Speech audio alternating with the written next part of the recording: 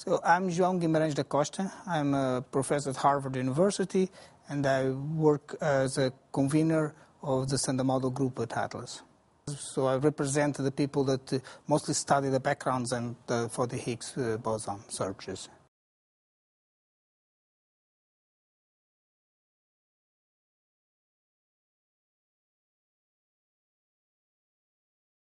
So the, the Higgs boson has been uh, one of the most interesting regions is the low mass region.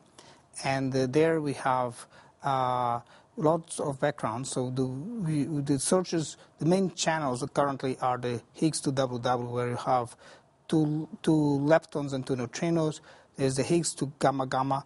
So those are two photons.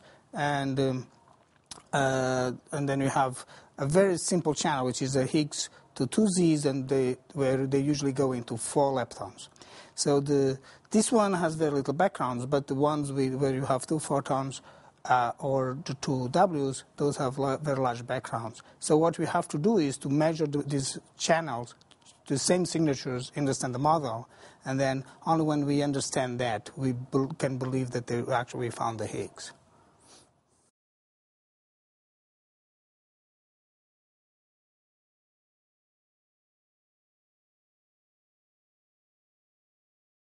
Well, so the, the result we have so far, uh, although quite interesting, quite compelling, is still not that significant.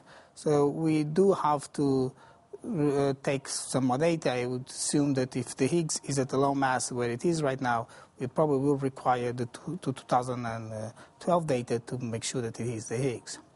Uh, what we want to see is that the Higgs shows up in the different channels, and it shows up at the, at the rates that we expect from each one of the channels.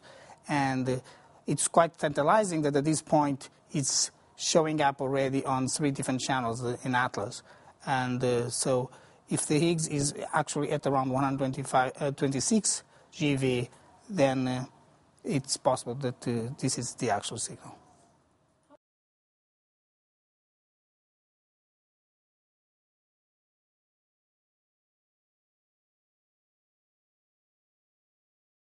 Um, it's really very exciting. So this is one of is cornerstone of the standard model. So we do need something like the Higgs mechanism to be able to, to make the standard model work.